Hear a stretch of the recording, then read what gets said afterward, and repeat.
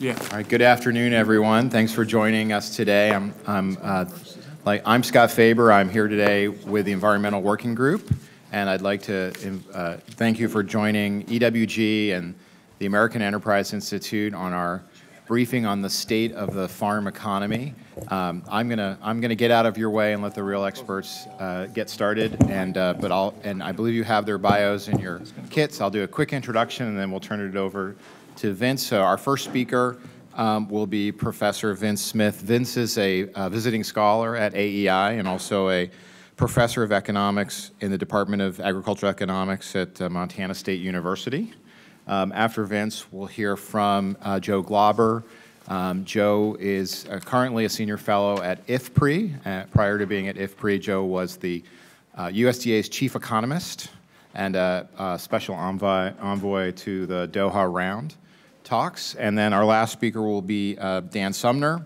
And uh, Dan is now uh, the Frank H. Buck Professor in, Department of, in the Department of Agriculture and Resource Economics at UC Davis and uh, has a long career, including uh, time at USDA and, uh, and on the White House Council of Economic Advisors. So I'll, we'll turn it over to Vince to get us started. So am I on? Oh, there we go. I'm technologically incompetent. That's what my wife says, and she's entirely correct. Uh, the, the objective today is to provide a sensible understanding of where the farm sector is in terms of its financial, uh, general economic position, and where most farms are. Uh, it is entirely correct, as several speakers at a recent House Agricultural Committee hearing uh, noted, that farm revenues from sales have slipped from their record highs in, eh, over the period 2011 to 13 quite, quite measurably, mainly because of lower commodity prices. But if you put all of that in context, and you look at where the farm sector has been over the last 15 years, the, the point at which the discussion started was record farm income years, which were very atypical from a longer run perspective. So, for example, in, uh, in 2012, net farm income as reported by uh, USDA was around about $100 billion. And today, net farm income, as reported again by USDA, is $55 billion, and that's a substantial decline. But if we put it into a slightly different context, uh, and we ask the following question, um, over the decade 2001 to 2010, which included early in the decade periods of low prices for some commodities like corn and wheat, and high prices for those commodities. So we've had for those two commodities, difficult times and very, very lucrative times, just to be, to be fair.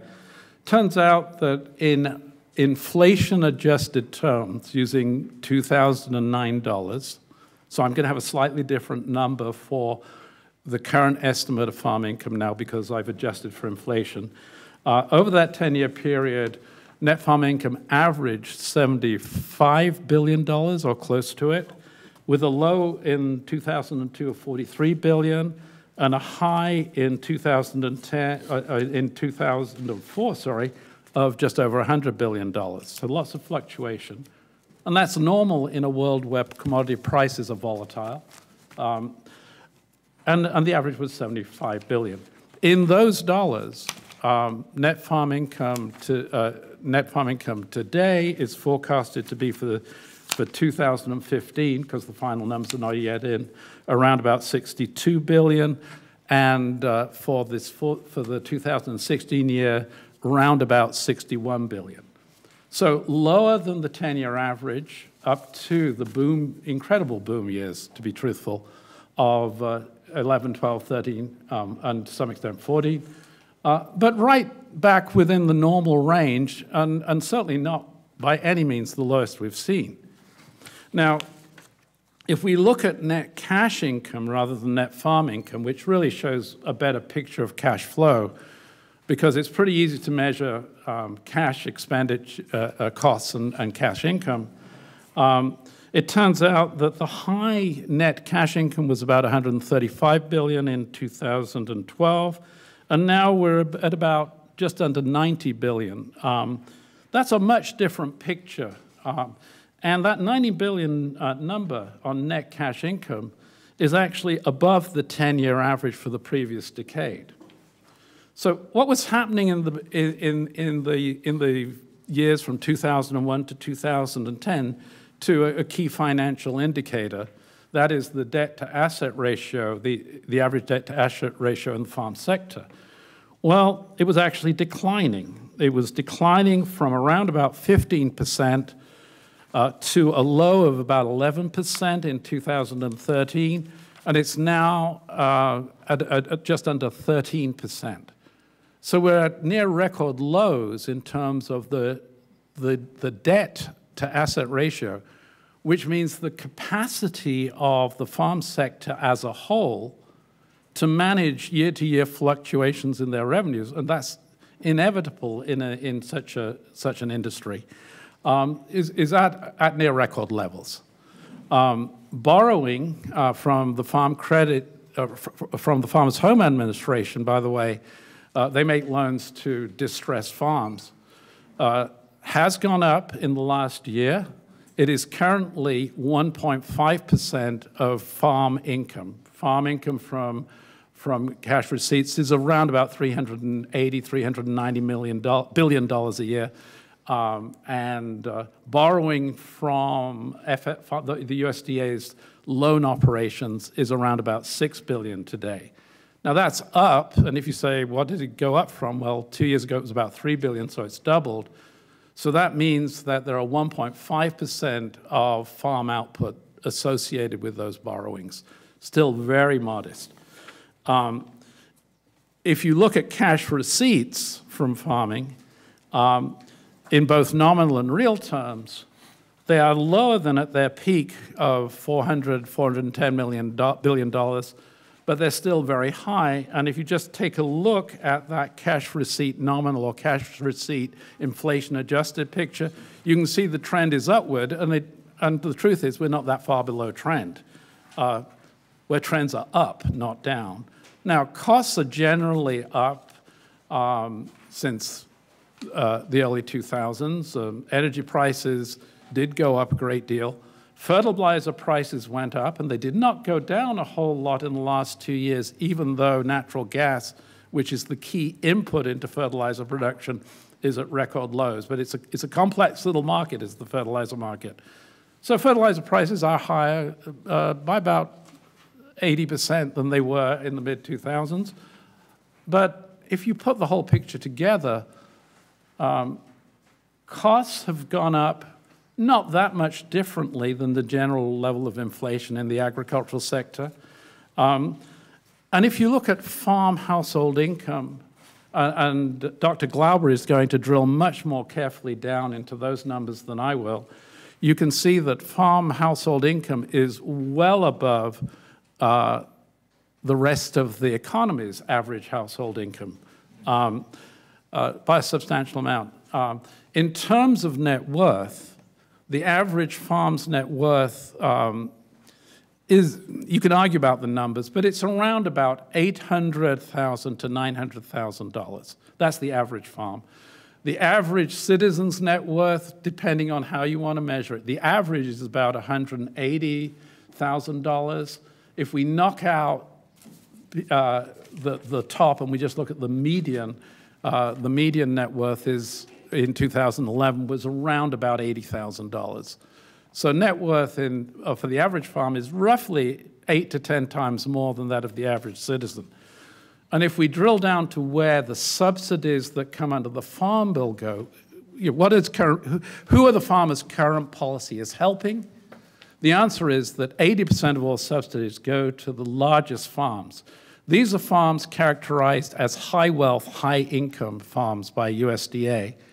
And the overwhelming majority of the subsidies go to high wealth, high income farms and farm households where it takes a great deal of effort to believe that they're on the verge of bankruptcy and can't cope with even two, three, or four years of difficult financial times. So, uh, having said all that, um, I'm going to, to wrap up. And, and we promised that we would, none of us take more than eight minutes, and I think I'm about 15 seconds into that. So I'm going to hand over to Dr. Glauber, who will discuss in much more detail farm household income. I'll just shut that mic off. See if that works. Yeah, no, it's on. I, I got this one on. Okay, uh, no, thanks, Vince. Um, uh, Vince asked me to, if I could put the current uh, farm income uh, situation in, in a historical context. Um, largely, I, have been working the last few months on a, on a chapter on U.S. A, a chapter that's going in a book on U.S. agricultural policy. So it's given me an opportunity to kind of look back and, and do some of the analyses. They have copies of these, I believe. There's uh, in your chart package. I'm going to go through some charts, uh, like any dull economist, uh, but I'll try to walk you through them. Uh, as Vince said, the um, I'm going to start with, with instead of net farm income, I'm, I'm going to start with net cash income. And uh, I like net cash income. I think when I was chief economist, I always talked in terms of net cash income, maybe because it's simple and I can understand it, but it is exactly what it implies. You have your, you take your receipts, you take any government payments you, you make, you take any um, farm-related income, and those that's all your gross receipts, and you subtract out costs. What it doesn't include, and what is included in net farm income, is depreciation. So uh, what I think ERS terms as capital consumption. But essentially, um, uh, there you can have some a, a, couple things that are in net farm income are things like changes in inventory. So if you added cattle in a given year, or or if you took drew down stocks, those are changes in inventory that get adjusted into the the income, and, and we want to kind of smooth away all of that. Um, and then the other thing is depreciation. You know, we had a lot of equipment purchases in 2011, 2012. We had a lot of money. Uh, the, the sector uh, saw a lot of revenue come in. Uh, you know, they, they were able to to buy a lot of machinery, which hopefully improves productivity. But unfortunately, when you look at that in terms of net farm income, that shows huge negatives on net farm income. And that's one of the reasons why net farm income and net cash income have, have diverged a lot. So I want to kind of normalize that and just kind of talk about net cash income.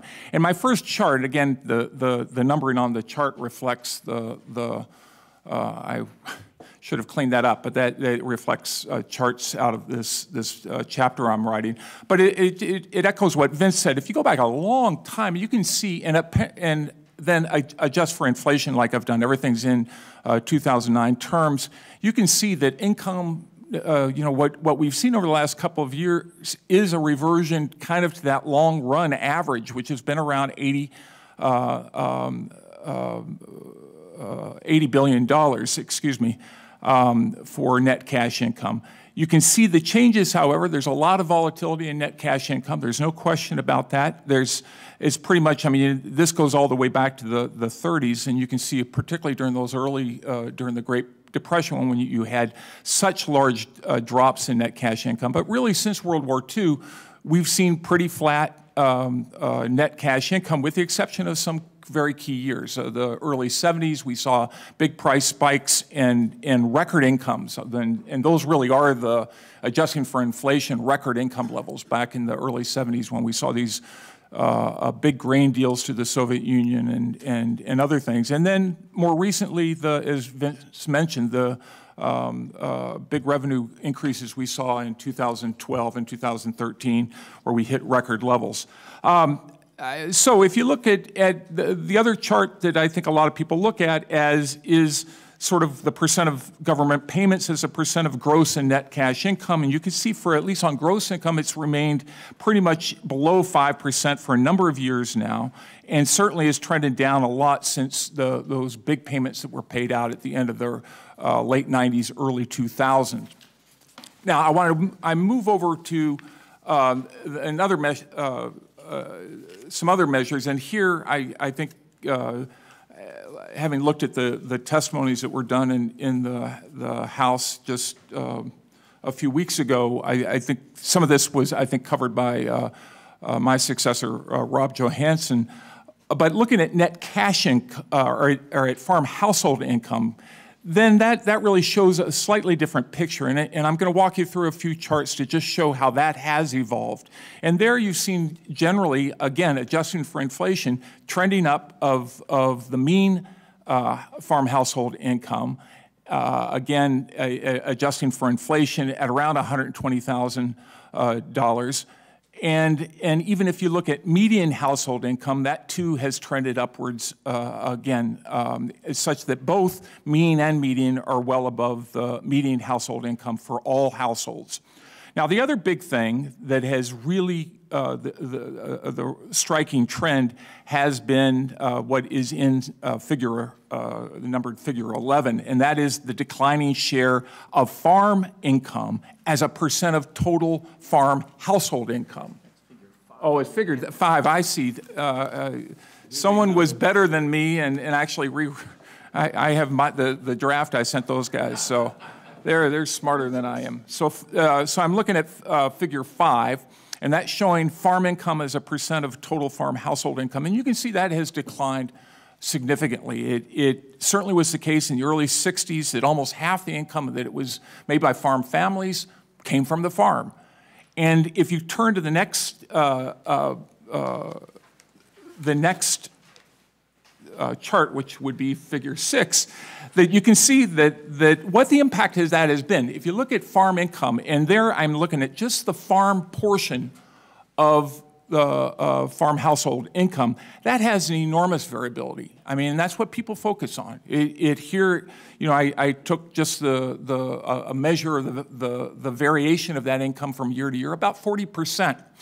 And that's quite high. But if you, if you then look at total household income, and that of course includes the off-farm work and other sorts of things that, that people bring into there, that smooths that considerably. And, it, and again, down uh, uh, to the uh, uh, standard deviation of around 12% or so. And, and again, very similar, I might add, to uh, household income levels or change in household incomes for all households. And then lastly, just picking up what, what uh, part of what Vince had talked about, and that is the distribution of farm payments. And this shouldn't be a surprise, uh, since so many of the payments are based on historical base acres or historical uh, uh, uh, production on the farm or on actual production, that these things tend to go to farms that have a lot of production. And so the, the, the payments tend to be skewed. Uh, and, and you can see here, at least in the last table, um, and I apologize, the, the numbers are small for me to read, but, but let me just walk you through, say, for 2013. What's, what that is saying is that 75% of the payments are going to farm households that had farm household income greater than $66,000, okay? Um, and, and that 10% actually of, of payments went to farm households that had more than a million dollars of payments in 2013. Now, some of this is, is uh, the, the, the uh, current farm bill has tried to get at this a little bit more on, on means testing. But again, this is, just shows you that the, the, the, the, a lot of these payments are going to farms that have incomes higher than the median income of all households. And I show that number down there as well. And in fact, um, uh, just going back through the ERS numbers, um, you, can, you can see that about 73% in 2013, at least 73% of the payments went to households that earn more than, than um, uh, uh, total farm, who had more household income than, than the average household income uh, of all uh, the population. So with that, let me uh, turn it over to Dan and can get questions later, I guess, right? Yeah, so I am, uh, I'm not going to mention a single number. I think you've got plenty of numbers. They're all written in these charts and tables, so I'm not going to talk about numbers. I do think to try to appreciate uh, why we have farm programs to start with, uh, we ask, uh, we, we have to, and, and what do all these numbers mean? We have to ask, why do we have these programs? And I start off by saying, uh, of course, farm subsidies go to the largest farms. That's the way it has to be designed. That's why we have the programs. And if they didn't, that'd be a terrible mistake. Because farm subsidies cannot be a poverty program in America. Maybe they were in 1930. I doubt that, frankly, uh, when farms were poor relative to everyone else, and, and when there were lots and lots of very poor farmers. Maybe farm subsidies could be uh, help for the poor in Bur Burkina Faso, where there are lots of very, very poor farmers, but not in the United States. Uh, if it were ever true, it quit being true uh, before I ever studied uh, farm programs, and that was before most of you were born. So, so we should just get out of the notion that farm programs can be used for poverty alleviation. Now, the USDA contributes a lot to poverty alleviation through food stamps and the WIC program and school lunches and lots of things. Uh, so I'm not saying, given that those programs are a part of the Department of Agriculture and under the jurisdiction of the House Ag Committee, those are very important poverty programs, but not the farm subsidies. They can't be that. And so there, if, if you want to ask why we have them, it's not to help poor people. Set that off the table. It's got to be for some other reason. It's got to be that you think there's something wrong with markets for agricultural commodities. There's something wrong with those markets. And for particular agricultural commodities. That is uh, grains and oil seeds, cotton, uh, a little bit of around the fringe of other things.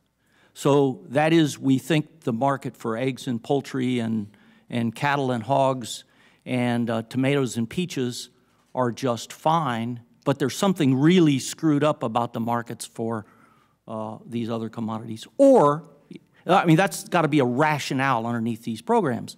And in part, that could, I mean, this is real life in America. This could be a historical accident. There was something about what was going on in the 1930s when these things were invented. And what that brings, and, and I think that's sort of the story. It's not that somebody has gone to a scholar like uh, Joe Glauber and said, explain to us why it is the case that cotton or soybeans or, or corn markets are so screwed up, but the markets for peaches and, and, and uh, commodities where I'm from, in the middle of California, why are those commodities, why are those markets so well functioning relative to these others? I don't think anybody's really, nobody in Washington said, uh, tell us the answer to that, and that's why we have these programs. I think it's more historical. I think we went through a history where uh, these commodities that uh, lots of the farms were integrated, lots of the livestock was on a farm that also grew corn, and so you subsidize the corn side or regulate it in some way. Uh, second, so, so that's one thing. I think it's sort of a historical accident. It's been going on for 80 years.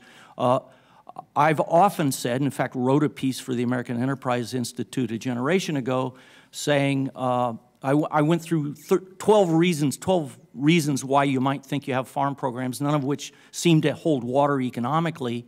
And I came to the bottom line with the 13th of the 12 reasons, which is we have these programs because we've always had them.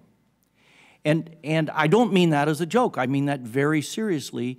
Uh, generations of farm families, uh, uh, uh cotton families from Lubbock, Texas, uh, the farmer who's there now, his granddaddy had these kinds of programs. Not identical programs, they've evolved, but they've been there.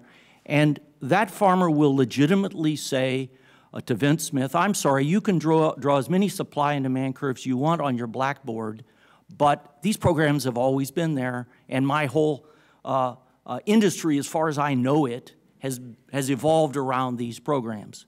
Now, if, if, if, if that's the reason, you say, gee, we don't have any other reason other than we've always had them, uh, and we're spending a lot of money, maybe, it's, maybe you can do something about that. And I, that's where I come down, is that maybe 80 years are, is long enough and that you can make some adjustments now uh, to, to, to remove these. And, and to be fair, we've done a lot over the last few decades to evolve programs to be less affecting of markets, to, to be a smaller share of uh, farm revenue, things like that. Uh, I think it's now a time when we can go the next step, so to speak. Uh, but, but that leads us, so, so if we thought about taking the radical option, gee, we've done this long enough, let's, let's unravel this, uh, you have to come back and say, well, and, and there's a whole series of objections. We, we've dealt with the poverty issue. It's not a poverty program, so it's not like we're going to throw people into poverty uh, uh, by unraveling these programs. But what about food security? Uh, And we could go through a, a list of data. I could throw out a bunch of numbers about food security. The fact is, we subsidize products that we tend to export. Uh, We subsidize uh, uh, cotton, among other things, which we- most of us don't eat. Uh, We, we subsidize, we, we don't subsidize the sort of products that most nutritionists say would encourage many of us to eat more of, for example. So it, it just doesn't, that, that argument sort of fades away. Um, what about innovation? Don't we want more innovation in America? Well, we tend to subsidize the very tradition, most traditional of the products in the most traditional growing areas on the most traditional farms. If anything, I, I think everybody would acknowledge that the traditional farm programs stifle innovation as opposed to encourage it. There's nothing about them that, uh, USDA again does lots on agricultural innovation, but it's not the farm programs. Um, and, and then I, I think I do want to finish then with a, with a final observation, and that is uh, there, there are people uh, who think that there's something just fundamentally flawed with markets in general. No market can be, can operate. The government really needs to micromanage the economy every step of the way, uh, really throughout the economy. And there are people running for president that think that. Uh, and and uh, we don't have time to deal with that here, but it is a little odd that agricultural markets that tend to be, if, if there's anything in Econ 1A, when I teach that course that I say, gee, here's traditional economics, supply and demand, it tends to be agricultural commodity markets, to think that those are the ones that can't function, whereas lots of other markets uh, uh, have, have less government intervention, uh, is a little bit odd. So uh, I won't address with the, the idea that we ought to have the government micromanaging the economy in the way that, for example, my favorite example is North Korea, where they really micromanage the economy every step of the way, including agriculture.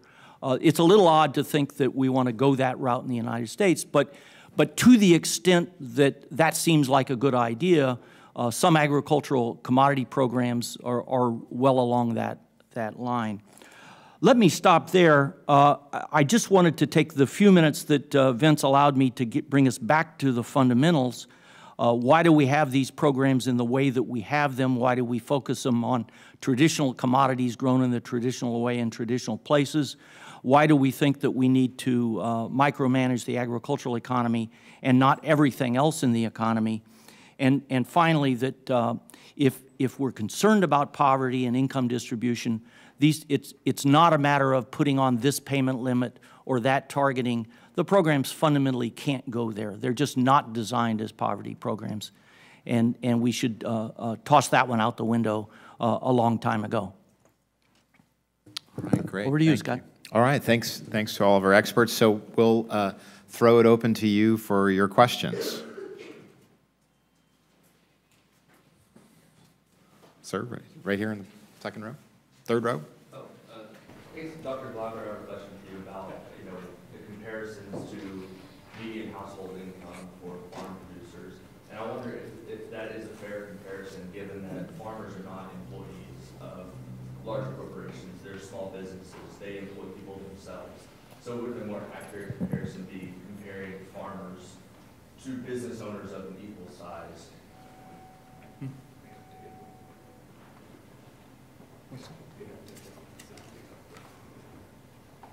So, so to paraphrase you, while these guys confer, your question is com- compare farmers to other small Yeah. businesses. Yeah. Yeah, I, no, I think that's, I think that's legitimate, but I think you'd find there too, that, that, I mean, you talk about others, I mean, to, in one sense, that almost makes their point, that is, you're not providing a lot of subsidies to the shoe store operator down on Main Street, and they, and it's true that they may have.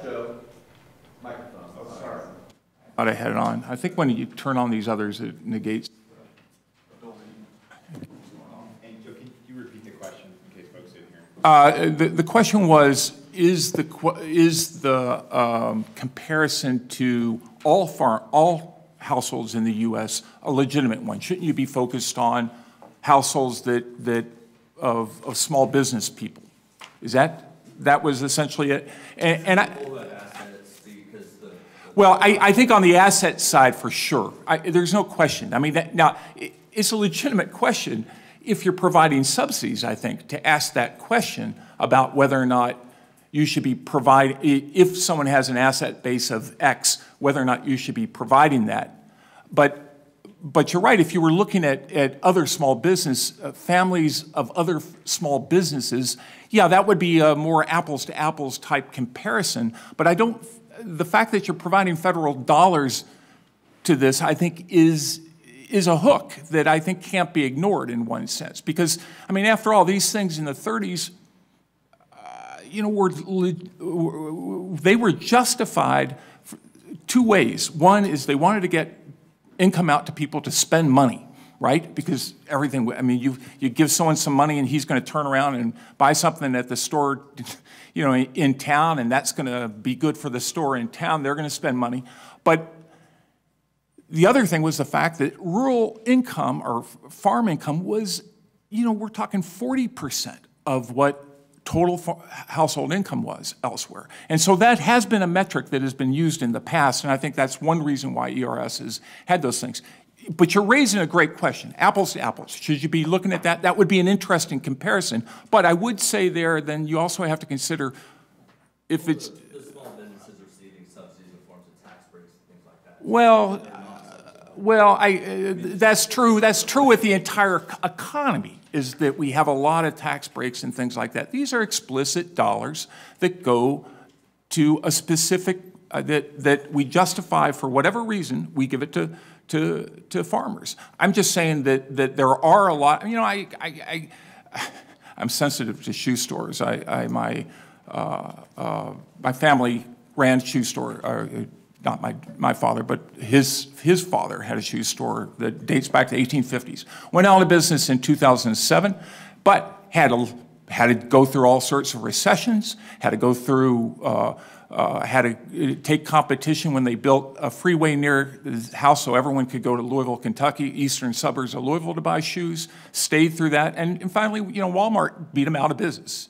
You know, but the fact is, these guys face a lot of risk too. I'm not sure that he had quite the same sort of uh, uh, aid he had that he had on his tobacco base, because he also has some. Uh, my uncle at least had some tobacco base as well, which was uh, good for his shoe store. But Uh, So we actually have data on wealth that were put together by, by USDA. It turns out that small businesses, on average, have a lower net worth at the, at the median level than the farm sector does, while facing, the truth is, while facing the same risk. And there's some data in, in, in the handout on bankruptcies. So the average bankruptcy rate uh, over the last 20 years annually in the farm sector has been back of the envelope estimated at about a half a percent, about one in 200 farms. Small business failure rates, uh, 50% of businesses do not last more than seven years. Um, and the data are, are, are in the handout on the small businesses. The data on farm bankruptcies are very incomplete, uh, courtesy of uh, an administrative decision in the early 1980s uh, to terminate reporting by USDA of farm bankruptcies and farm failures under the Reagan administration, because they were actually going up a little bit. But today, bankruptcies in the farm sector, and we're talking about all 2 million farms now, not just the very successful commercial farms, run in the small numbers of thousands, uh, less than 10,000, less than 5,000. Uh, so if you think about 5,000 farms going out of business through bankruptcy annually, which is around as best we can guesstimate because of the lack of data um, where you're at, as opposed to 2 million farms in the industry, you get a sense of, of, of how actually financially secure relative to other business sectors and comparable small business sectors farming turns out to be. Question in the back. I do, I think it'd be good to come back to the wealth question, but it's, I think it's confusing, the question that was asked, because, I mean, you gave a wealth answer, but to the question that was asked of Joe about incomes, to follow up on that, you know, when I drive for work, you know, I've got opportunity costs, I've got a car to get here, but otherwise, I'm deploying no capital in the production of income, which is my salary, right? I'm a salary, but virtually everybody else in this room, we're salaried employees, and we're not deploying capital or putting it at risk. And so I think that's go to the first question, kind of the follow-on that's related to that is, Joe, can you provide some context for the value of cap, the capital that's being put at risk in the production of that income? Because we're, we're pretending like a household salaried income is equivalent to a farm household income where they're, you know, for a seventy thousand dollar salary, how many hundreds of thousands of dollars are they having to put at risk, often borrowed on a short-term operating loan to produce that income? Well, I- you're absolutely right about, um, uh, if you're comparing it to total household income, or, you know, the average for all household income. I think the small business thing, certainly you have, uh, there's a lot of capital at risk for small businesses. And, and certainly with small businesses, they go in and out of production all the time. I mean, I think that's, that's, that's pretty clear. Um, uh, But, uh, yeah, so uh, there is, although that really depends a lot in the sector. Uh, I mean, you can find a lot of farms that have very little debt and very, and that look not too much unlike households here, I might, I mean, you know, of, of salaried employees, and largely because they're, they do bring in a lot of, of farming or off-farm income from other sources, both salaried and, um, you know, investment income and things like that. Setting aside the debt scenario then, just in general, what kind of capital are they putting at risk in the production of that?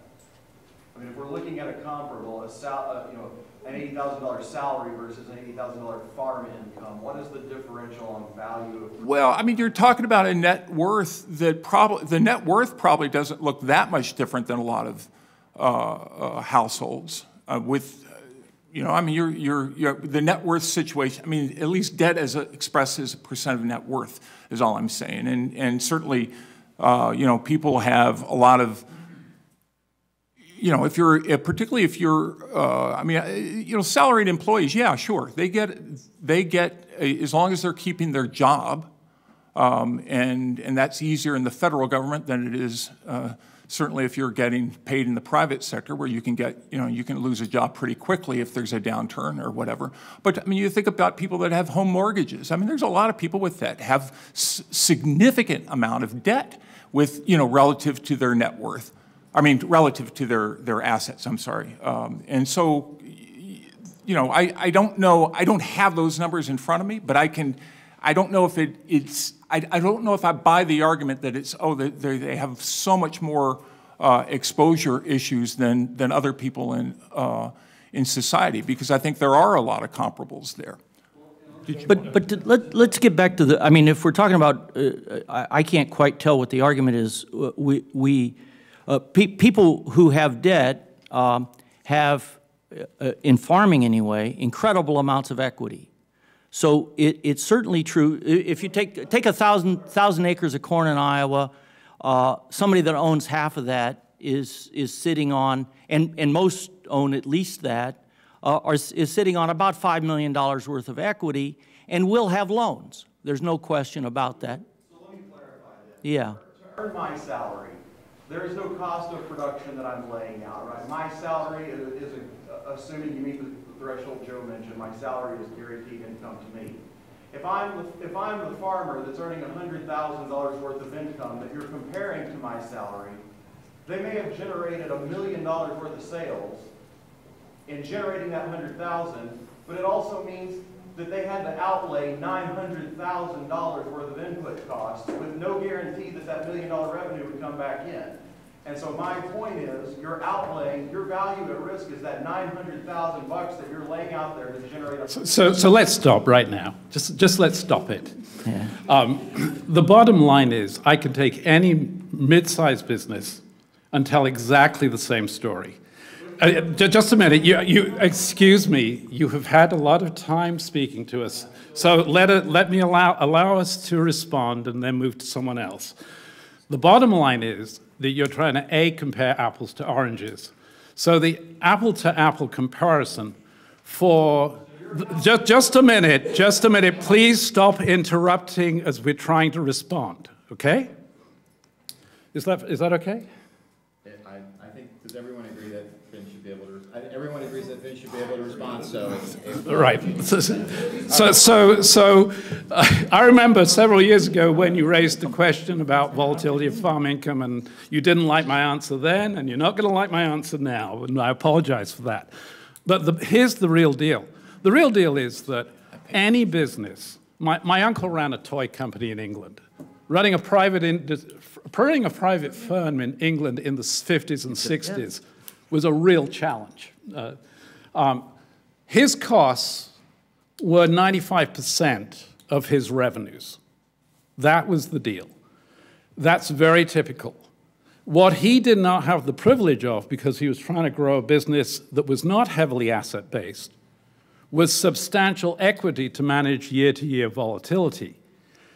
Many companies do have substantial equity. It's time to stop thinking about a farm as a farm and start thinking about it as a firm. And as a firm, many, many operations where they know their revenues are volatile from one year to the next will have substantial equity. That's what you see in the farm sector. Many firms will have multiple lines of revenue, some stable, some unstable. Uh, that is exactly what Joe told you about uh, the farm household. The farm revenue, which is only a part of the total household revenue, is relatively volatile. Uh, the other part of the revenue may be extremely stable. Uh, fa farms are not, are not magic entities, they are firms. When they're well managed, and most farms are well managed, they're going to be structured to manage the volatility in their sector. That's what farms do. One of the biggest challenges that we have, in fact, in agricultural policy is that by trying to get rid of the volatility, we encourage A, lack of innovation, which is what Dan was talking about earlier. B, we encourage people to behave fiscally less responsibly in managing their businesses. And there's plenty of evidence for that. So let, thank you. Thank you. Let's hear from someone else. Sir, the bearded gentleman in the back. Uh, yeah, can you explain more about the lack of innovation and, you know, what, I'm not really, really quite understanding it because I think from um, the farmers I talk to every day, regulation is what's stifling a lot of the lack of innovation and how farmers want access to the latest and greatest traits or technology that's better for the environment using less chemicals and fertilizers, where you have USDA that approves a trait and EPA sits around for three years waiting to approve the corresponding chemistry. So I, this whole this whole argument that you make about innovation being stifled because of the government is not necessarily on the subsidy side, but more on the regulation side. You know, if you, if, I don't know when the last time you talked to someone who gets up every morning and put food on your table was, but the number one thing that they're gonna say is regulation is what's, was what's really hurting them. Yeah, you- you're exactly right. That's true in every industry, uh, certainly every agricultural industry, including those that get no subsidies whatsoever, Uh, so, or or very little subsidy. Uh, The point I was making uh, was, uh, and and so are, are there things that the U.S. government does to stifle innovation? No question about it. Um, and, and some of that relates to environmental regulations. Is the, are there other things that stifle innovation? And I would say the way we structure our farm subsidies also do that. So that if I'm uh, in Northern California, traditionally grown rice, uh, over the, in the past, uh, 50, 60, 70% of the gross revenue of a rice farmer can be from farm subsidies. Now we're in the 10 or 20% range in a, in a normal year. Uh, that's compared to the 47 or 57 other crops that that farmer might consider in the rice belt in California. And the farmers that I talk to, just about every day, in fact, because I live among them, uh, is, is that uh, what keeps them from shifting across crops and from changing within crops is a set of subsidy structures that are designed, in our case, uh, 3,000 miles away. And that that does limit the kinds of things that farmers can do to, to respond to markets. Now, is it the only thing? Obviously not. Uh, it's one of the things. And in fact, uh, I'll, I'll uh, reinforce this even further to make the point that uh, what, what I find uh, troublesome is that a number of the innovations that the farmers that I know are engaged in are in fact innovations to deal with either regulation or subsidies. So that is to say they innovate in designing their business operation to still be eligible for subsidies when they bump into this or that regulation that's designed to, to, to, to target the subsidies of one entity and another, or, and, and this is even worse, innovate in responding to various environmental regulations that don't necessarily make a lot of sense down on the ground. So that, for example, here in California, where we have a cap and trade system and, and uh, some offsets for farms to contribute to some local California greenhouse gas rules, a lot of the innovation in agriculture is shifting what they do on the farm that may not have any real impact, but it does meet uh, the sort of regulations, in this case, coming out of Sacramento. But there's similar things with the, with the federal regulations that farmers have to do. Uh, and it's, it takes a lot of energy, it takes a lot of innovation, it takes capital to meet those. And things that might otherwise done, uh, be done to innovate to meet market forces or, or innovations that farmers have to do to meet regulations or to comply with subsidy programs and rules surrounding subsidy programs. Yeah. The only thing I would add is just echo what Dan had said earlier, that is, it's changed a lot. I mean, it's, it's, at least on that side, I mean, you think back 30 years ago when you, if you had corn base, you planted corn. And so it really throttled any sort of innovation there. And it, and, and I think, you know, if you look at the farm bills from 85 on, or particularly 90 on, you know, with, with keeping planning flexibility and those sorts of things, I think those things have, have been really key. Um, and, and, and really help minimize the sort of distortions that, that we really used to see in those farm programs. I mean, I, Dan and I might dis disagree in terms of the, the degree of, of distortions that are still in these programs, but there is still distortions in them. But you're absolutely right on the regulatory side. I think there, there you do see uh, real issues, I think, and, and issues that need to be, you know, uh, thoughtfully uh, looked at and addressed. Uh, can you gentlemen, uh, if you would, I'm, I'm a son of a third generation rancher from the middle of nowhere, and our big criticism of farm programs has always been that's for farmers and not livestock producers. Um, but as we continue to look forward at the upcoming farm bill, as we continue looking at the average age of the farmer, you know, skyrocketing for the last decade, what kind of innovations would, would yourselves suggest for policymakers going forward and how we deal with, with the changing demographic within our producers base. So I live in the middle of nowhere too. I'm not sure what your middle of nowhere is. Mine is Bozeman, which is less the middle of nowhere in Montana than most places, but it's a long way from anywhere. Um, yeah, the, the farmers and ranchers I know are the salt of the earth. Uh, there was a comment in the House hearings about critics of farm subsidies not understanding farmers or not knowing farmers, and that's simply, certainly not true for Dan. It's certainly not true for Joe. You could levy it at me because I grew up in the city of Leeds, but I've been privileged to spend the last 20 years in Montana, and it's been a, a real joy. And just as an aside, many of the farmers I know recognize the distorting nature of many of the farm subsidies they get, and they're very honest in private, certainly, and even in public about that.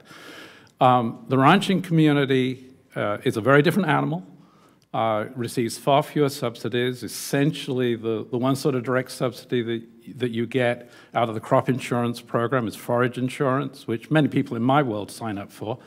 Um, but it's not a lot of money compared to what the corn guys get out of that program, for example. Um, and, and then there's the disaster aid program, which is one of the few innovations in the last few years that have been deliberately designed to be WTO compatible, and that, that's a compliment to the work, the, the, the recognition of, of ranchers, most of them, uh, of the importance of export markets and import markets. It's just tremendous. The, the bottom line is that many of the subsidies that farmers get that, that we've been talking about, if they went away, would fundamentally not change production in any measurable way. Um, when it comes to new and beginning farmers, to facilitating change in the industry in terms of personnel, this is old, it's dull, but the bottom line is you want to invest in good education for those farmers, both, both agronomically, uh, with respect to animal science, with respect to finance and economics.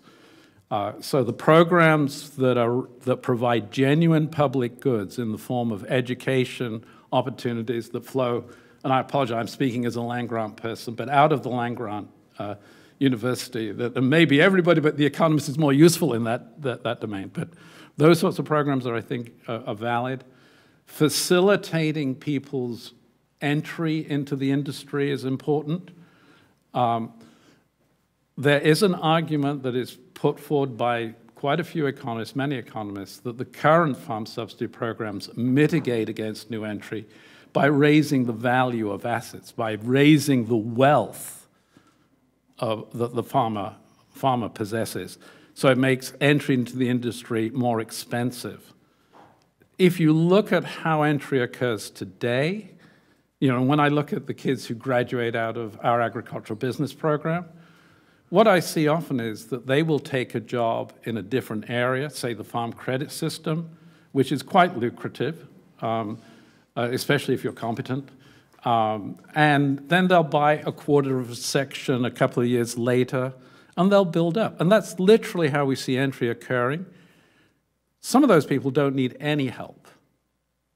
Um, I can make a case, and, and I'm not saying that, the rest of the panel would agree with me, for support for beginning farmers, um, for education, uh, perhaps for preferential loans for entry at a, uh, into farming on a part-time basis, which is how many people, very well-educated people, but young, enter into farming. Those sorts of things are important.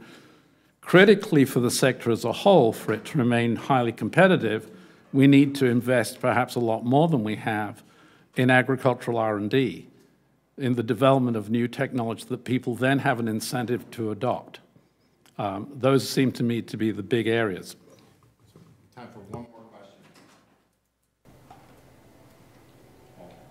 You mentioned at the beginning farmers and and how the subsidy programs impact those. Could you elaborate on how, uh, you were not very much about crop insurance, but crop insurance subsidies and, and subsidy programs raise barriers to beginning farmers and new entrants trying to get into farming and how that actually happens? Well, The the simple story is just land prices go up, so you, so that means land rents and land prices are higher, so it takes more capital, and t- people tend to either, be if they're not born rich, they accumulate ca- capital over time. So the more the farm program benefits are capitalized into the assets, you need assets to run the farm. It's a, it's, that's the logic of it. Uh, And there's data that show that in various ways. I wanted to say something about the age distribution very quickly, Scott, because you have to be careful looking at those numbers. Uh, About four or 500,000 farms make a living farming. The other 1.5 million are part-time operations. Many of those, uh, farming turns out to be an ideal retirement occupation. So you end up with a bunch of people that are farming because they're retired, and so the average age is quite high. So what you want to look at is the younger partner. Uh, If you think about new and beginning farmers, the younger partner who may not be listed as the farm operator on the farm, that may be, still be granddad. Uh, and, and we know that most farmers are family operations.